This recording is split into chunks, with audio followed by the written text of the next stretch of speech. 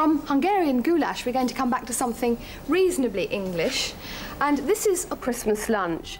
And I've got here a little production line already.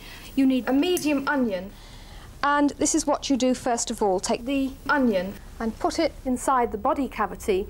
This will take two hours. Ah. Hold on a minute.